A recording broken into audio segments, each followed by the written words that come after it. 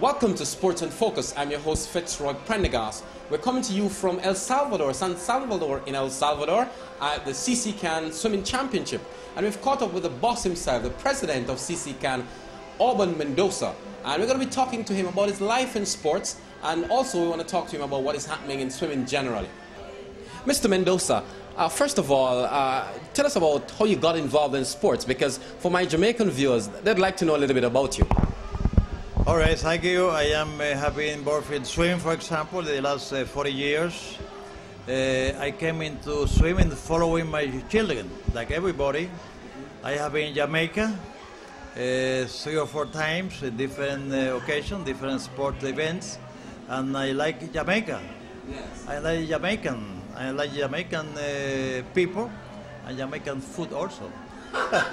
You're Mexican by birth, right? Yes, right. How did you specifically, specifically got involved in the swimming? swimming? Well, in Puerto Rico, I was uh, in college. I was a basketball player. I was a baseball player. Interesting. I never learned how to play uh, cricket because we don't play that in, uh, in our island. Yes. We just uh, concentrate in basketball and uh, baseball and boxing. We have boxing. And also on the female side, we have uh, five Miss Universe so far. A, a lot of beautiful uh, girls and women, including my wife, you know. Okay, okay. yes. And um, since your involvement in swimming, how has swimming evolved over the years? Well, swimming is coming up uh, very good. I mean, uh, I, when I started in 1966, in this second championship, we have only about 300 or 400 uh, participants. And now we have in this, uh, in Salvador, we have more than 1,000 uh, participants. Means that we are going, going, growing up, and probably we are going to be victims of our growth. See? All right, tell us um, when you look at what is happening in the in the sport, uh, what do you think needs to improve? Um, I I notice we have a lot of Caribbean countries here. Jamaica's here, Jamaica's here, Barbados is there. Um, you know, St. Kitts, a lot of small countries as well as other Central American countries. What exactly do you think um, needs to happen for swimming to improve the sport generally across the world? All right, uh, first, need money. All the islands uh, which have a small budget, they need more money, more support from the uh, Olympic Committee, more support from the city, uh, from the uh, federal government, whatever you call, and that's the first thing. And then uh, over that, we have, uh, we should need other private enterprises to support and back the swimming. We have a big, a big problem that our sport is for kids, you know, children. They, they don't produce, they're not professional, they don't produce uh, money. That's what is more difficult for the federation to raise uh, uh, budget, uh, raise their budget to go to different places. And uh, every day is getting more, costing more money. And for example, we did in, in, in order to improve the technical point of view, we need more money to bring coaches to seminars, a clinic here and there, and then make uh, dual meets and uh, have our delegation, our uh, senior swimmers, whatever you call, to go out to different places where they have a good swimming. One of the interesting things about you, you've been um, a president for a, a long time. What would you say is your legacy in, in the sport of swimming? As president of CCCAN, what do you think over the years, what, what um, have you done as president to change the sport radically? Oh yes, I have been dealing with the uh, International Federation, getting the clinics for the uh, federation. We have 20, by the way, we have 24 federations in the CCCAN. Uh, other than clinics, I have been uh, uh, going helping with the little budget that we have in CCCAN to small federation to uh, host and prepare small federation, I mean uh, uh, small events. And Jamaica is uh, famous for that. John Eyre now is a secretary of CCCAN. By the way, uh, yesterday we uh, gave to uh, Jamaica the next uh, uh, CISC, the Caribbean Island Swimming Competition is going to be here in, in Kingston, Jamaica. And also the first one in that particular uh, event was held in, in Kingston Right. in 1976. I was there. I was there. And it was a good competition. You people in Jamaica, you know how to organize. You know you are serious people. The last time we have the seats over there, I was watching all those, uh, I say in parentheses, old people doing a perfect job, like a soldier, this, this, this, and that, and that's what we want in this sport. Uh, John did a good job as president of the Jamaican uh, Swimming uh, Federation, and for the first time we have four, four disciplines in one pool. And he did it almost perfect, you know. So now everybody likes to come back to uh, Jamaica, and uh, everybody, when uh, Jamaica proposed, everybody stand up and uh, clams and Jamaica again, let's go to Jamaica, Kingston. So that thing is going to help the tourism in Jamaica, plus you people are good friends, and everybody love to go back to Jamaica. Now, I know you are, you're also on the board of FINA, um, the World Federation. Um, when you look at FINA, and uh, of course swimming is a part of the Olympic Games, is there anything that you think swimming needs to do at that level? Well, we at the bureau level, I am at the bureau level, uh, bureau of FINA. We have been spending a lot of money uh, to help all federations. We have uh, right now one, uh, 195 federations belong to FINA, and every, every time we have a big competition, uh, like the last one we have in Melbourne, the World Championship, we're spending five, six, or seven million dollars to help all the delegation to bring at least four or five uh, participants, including the coaches, things like that.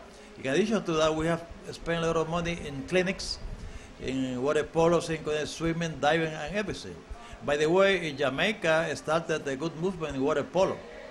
I was asking uh, uh, John how you let them go down a little bit. And he said that uh, people are getting bored. Some people, uh, some uh, participants go to the state or go to uh, to British uh, England, whatever it is, and then they don't they don't have the complete thing. But I think that you people in Jamaica, you are people sport, sport.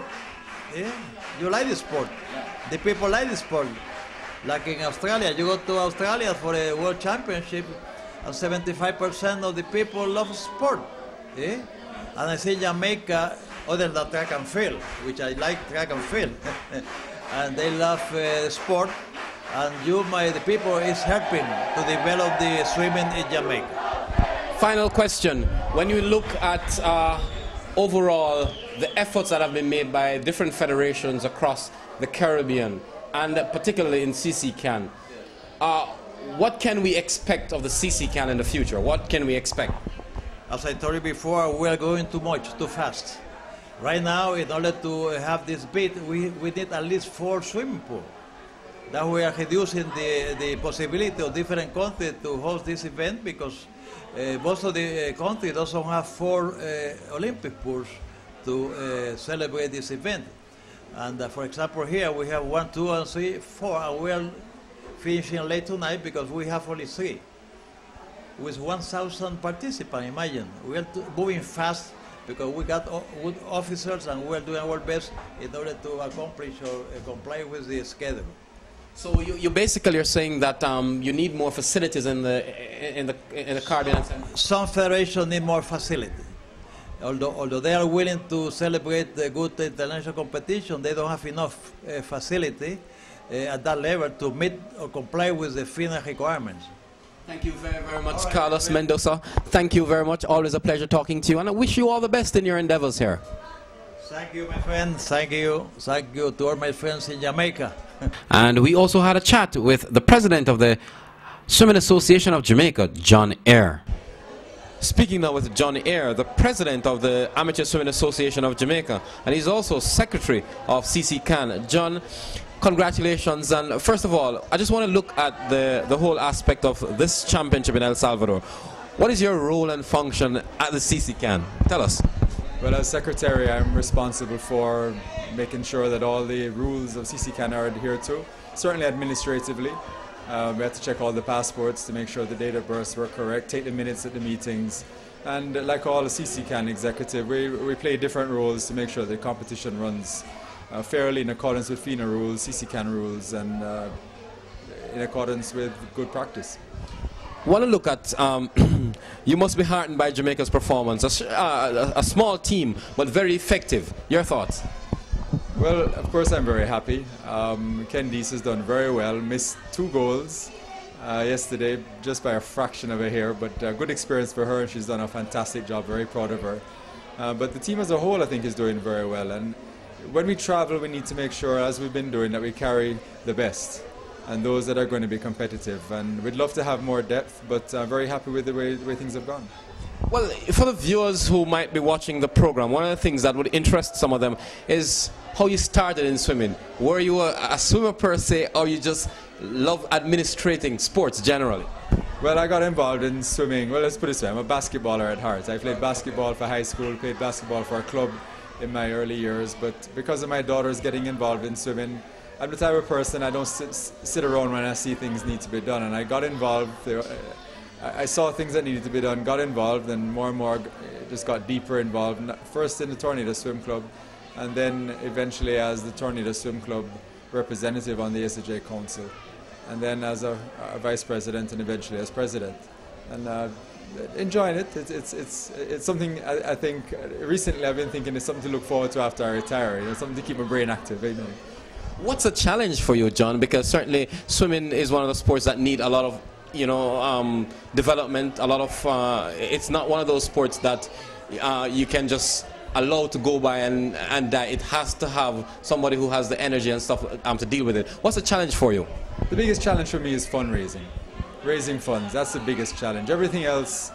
Um, falls into place when you have when you have funding, and, and, and is much easier. The, the other issue, I think, uh, is making sure that we have the right people in place and getting sufficient volunteers, and that's another challenge as well. Uh, but for the most part, fundraising is the hardest part. Uh, there's a lot of work to be done. If we had more volunteers, it certainly would be easier. But I, I think you're going to see as time goes on with Swim Jamaica bringing more people into the sport, that you'll see the sport, all the disciplines grow uh, exponentially. It's, it's, give it five to ten years, and you'll see a tremendous growth, I believe. The president of CCCAN had high praises for Jamaica in terms of its or, um, Jamaica's organization and in, in terms of the level of interest of the sport in Jamaica. Your thoughts on that? Well, historically, I think Jamaica has always had high standards. And in recent times, I've been pretty uh, adamant that whatever we do, we do it well. And I think Jamaica has set some very high standards when we organize meets, and, and, and we have a good reputation for that. And you hear comments here, for example, this meet is, not, is a good meet, but not the best. And uh, people have come up to me and said these, these people, being the organizers, need to come to Jamaica to see how a meet is really run. And I think all of our volunteers, all of the people who make Jamaica what it is, need to take credit for that. I'm very proud of that.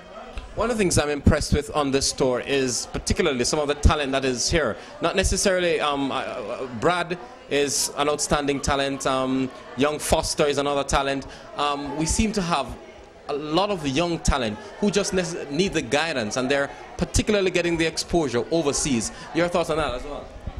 They need lots of competition, um, but we also need lots of depth in Jamaica. And again, I think Swim Jamaica eventually is going to help solve that problem.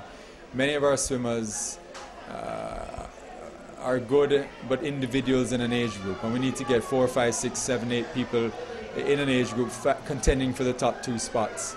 And when we do that, you'll see our performances improve significantly. But we have to give those who are here credit. And, and, and, there are a few others as well who couldn't come. Alia, for example, she's in training for the Pan Am Games, and, and a few others but again, credit credit to those who are here. They, they work hard under trying circumstances. Uh, would love to have more people to train with, and that's something we're going to have to work with uh, over the next few years in Jamaica. Final question: As we look towards um, some championships that Jamaica will be hosting, I'm sure that will be involved in um, another championship, the Caribbean Swim Swim Championship. Tell us about that possibility and what do you expect of that? Well, we've been asked to host the Caribbean Island Swimming Championships for the uh, fourth time. If we do host it, Jamaica will be the country that has hosted it the most times since it was uh, conceived. Uh, we will talk to the government, see whether they're, they're okay with it, and if they're okay with it, then we'll host it next July. Talking about 500 athletes in swimming, synchronized swimming, and water polo. Uh, we did a fantastic job in 2004, held it before in, in 94 and 76. And once again, we hope to raise the standard not only the performance of the swims, but also the organization as well. I did say final question, but one just popped into my head. As we go forward, your your thoughts, looking forward uh, to swimming, uh, you must have some some thoughts, some notions about where you want to take swimming. If you, um, as you, you mentioned, uh, retiring, what would you want to see after you've you, you, you finished um, your you know your career and uh, your tenure as uh, the president of the ASAJ? Well, number one, a, a medal of some sort at the Olympics. Um, but in order to get that, I think, and you've heard me allude to, to more swimmers, uh, we need to have a number of water polo clubs, a number of synchronized swimming clubs, uh, many, many more swimmers, um, and, and, many swimmers contending for the top two spots. And obviously, we'd love to see good open water swimming and diving as well in Jamaica. But, but certainly, those. From a resources point of view, we need to focus on the three disciplines we're working. I'd, ra I'd rather not venture off into another discipline until we get additional resources. But certainly working with the three disciplines that we have now, many more clubs, many more uh, participants, uh, which I think will in turn inherently increase the competition and the performance of our Jamaican athletes. And I'd, before, before I retire, I'd love to see that happening. ending with a medal, preferably a gold at the Olympics, who knows? Thank you very, very much, John. All the best. Welcome. Thank you.